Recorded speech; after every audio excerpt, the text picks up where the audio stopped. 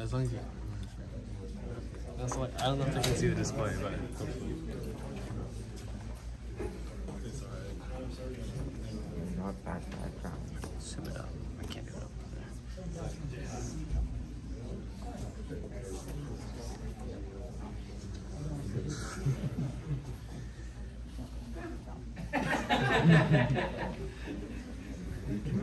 there.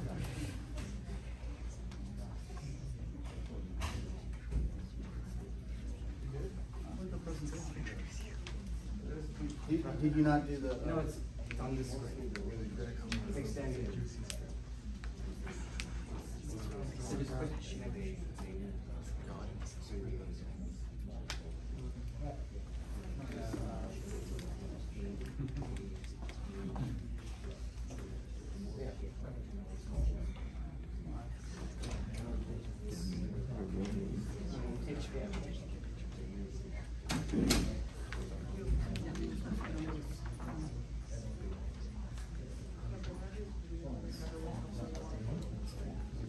we're not doing the interview.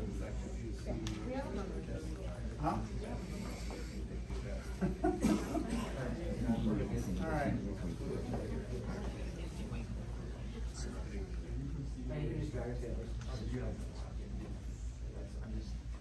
I want this slide.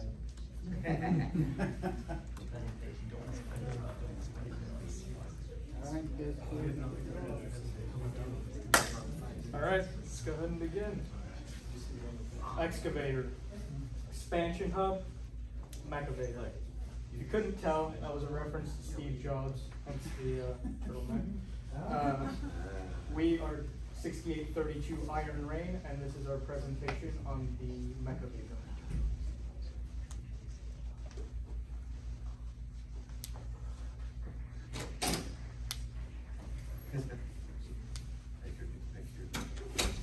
Yeah. Where do you see it fit inside the site?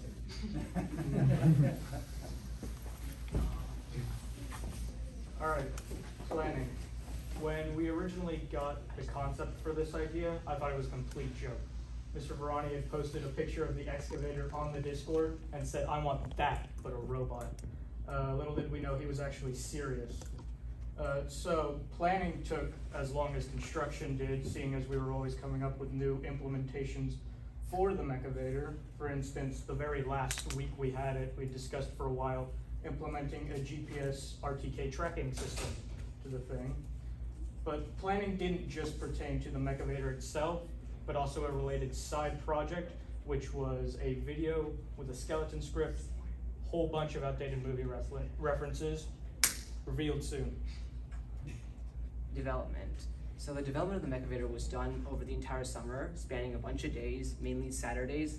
However, developing the Mechavator didn't mean exclusively like working on and repairing the actual like excavator itself.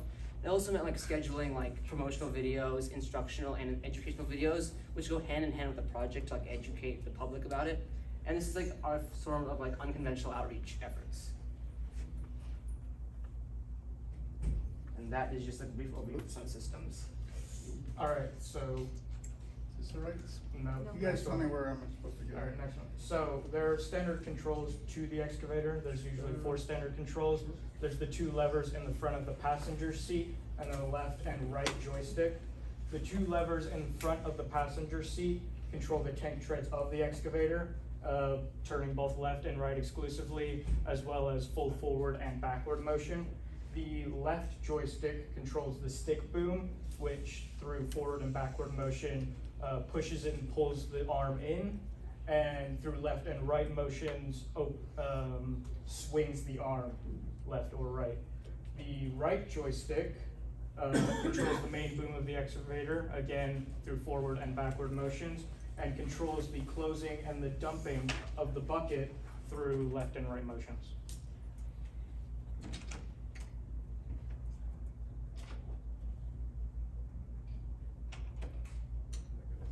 This was one of the uh, joystick manipulators, and this is how we attached it externally. You see it's just clamping onto the armrests, uh, basically a friction grip. Yeah, everything we attached to the exca- excavator was non-destructive, so um, the excavator was just as we had it um, before um, when we were done with it.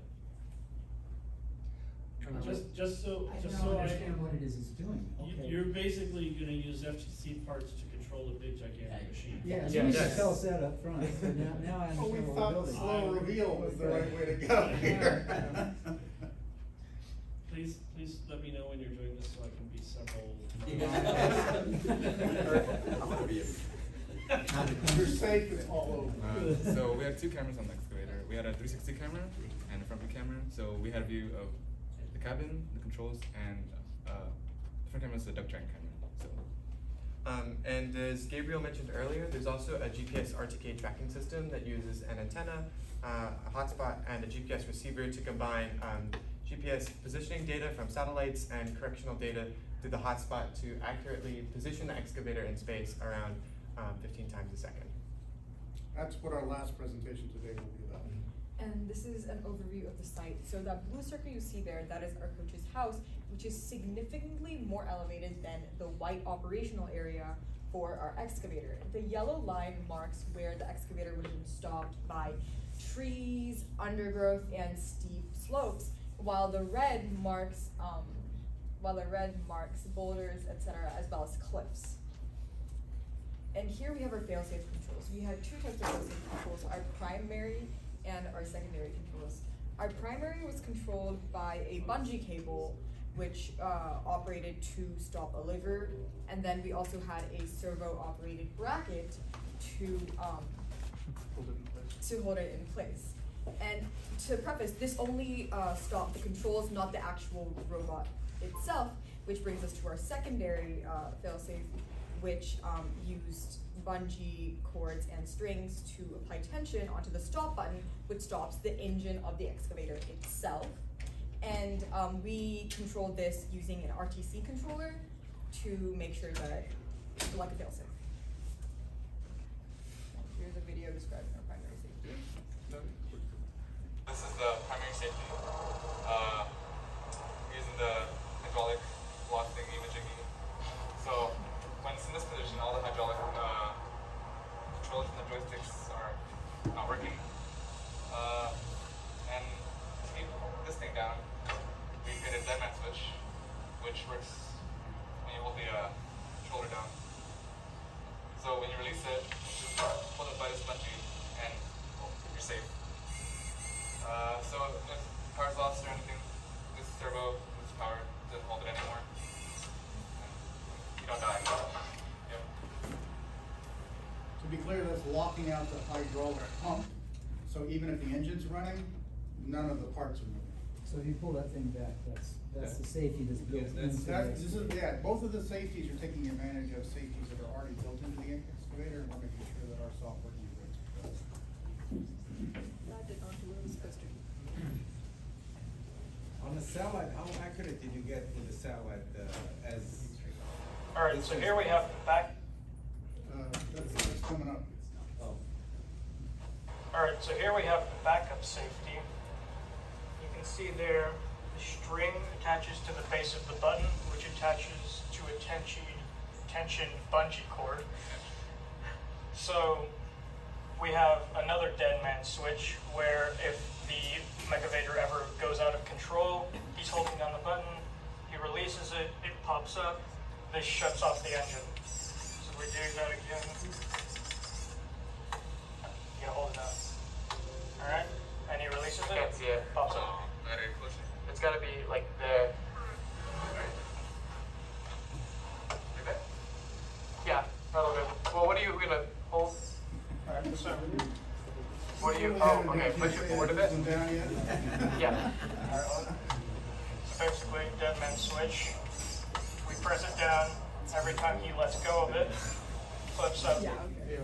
So that's a completely separate control, it's just a, a standard radio control, uh, device, that has nothing to do with the, the REV system. On purpose, on purpose, so that, completely independent. Very practical. So it's not like excavator jump. So, so obviously, the, the main purpose with renting an excavator wasn't to turn it into a robot, it was to clear, uh, some of the trees from the backyard. But, um, there's really two main reasons why we built it. One is we wanted to do a FTC like, like spoof video, and we wanted to, we wanted to make fun of some of the rules, like the sizing cube, which it will not fit inside. And then the other reason was to really show what FTC is about. It's about uh, creating new ideas and doing stuff that no one's done before. And, yeah. I think you need a video of what you're going to get crushing the sizing. We do. We have that. It's not in the It'll be, it'll be in the final video. Final, I'm I'm eagerly looking forward to this. So, go, no, go back. So while this, uh, video is playing, if you have any questions, we'll take them now. Which interface you are reading the satellite info into your control hub? So the satellite interface was, um, it was, okay, so it's connected over Wi-Fi to the control hub. So it's constantly getting, uh, an accurate location data, I think within, what was it, two centimeters? Yep. Uh, We're, uh, so, so the, the last talk is, uh, is, is an in-depth dive Gotcha. into the, yeah, all of that kind of stuff. So does the police department want this for their bomb disposal department? And I'm thinking there actually could be some real life use for this thing. Um, no, the police department does not want it, but there are some, um, companies, some construction companies that are actually looking forward to this kind of technology to do remote construction, um, so that your excavator operators actually don't have to be on site, um, to complete a construction project. So we're actually not the only people who have ever turned an excavator into a robot. There's a few companies that have done this before, but we discovered their existence after we, uh, undertook this project. Unlike us, they are legit. Yes. So did you come to the realization after he gave you, okay, he gave you the requirement that says it has to be non-destructive to the machine and has to bolt in and stuff like that? But then you realize, wait a minute, we should just go into their control system and did you get to that pretty quickly? Saying there's a much easier way to do this, Mhm. but. yeah, I think we were all very disappointed that we couldn't actually take apart an excavator.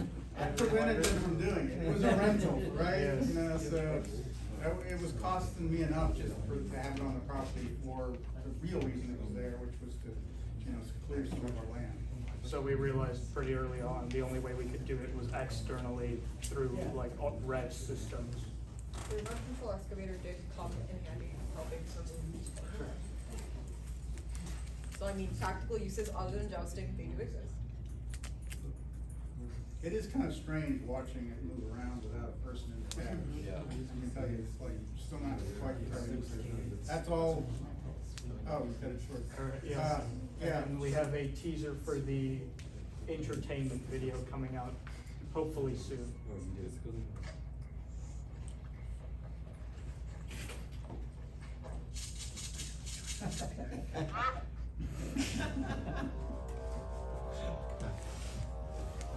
This is gonna be like Bambi versus Godzilla. I think it should last him. Yeah, that's it.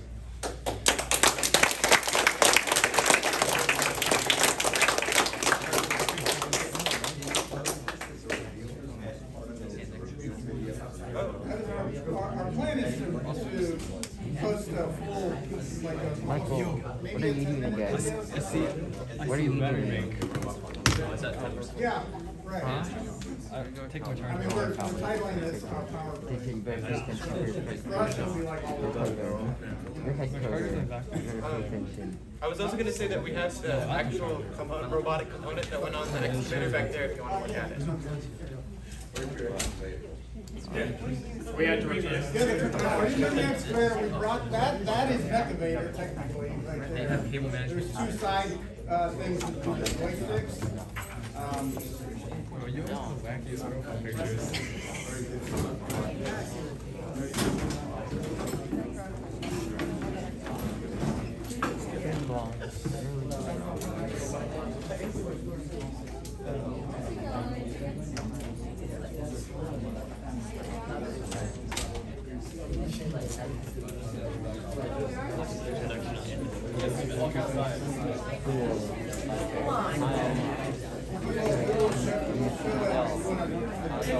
We'll show it between the,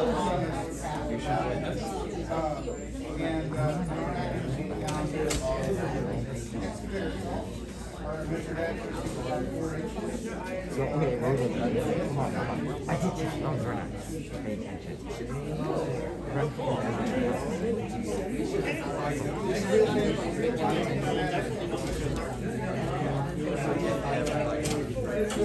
Yeah, yeah. right. We're always looking for people. It- it's not always necessary.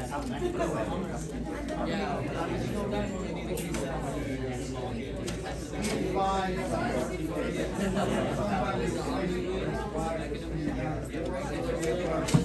I haven't do that. Basically, uh, we're using, uh, a procedure that's new architect. All right, yeah.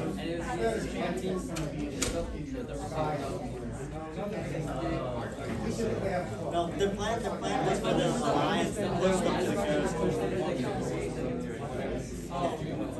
It didn't work, and they were out of the body. That's why we're doing. Is, is, is, is an extension. Why are you taking off my? I'm taking off. All right, ladies and gentlemen. All right, we have Anthony Wong here.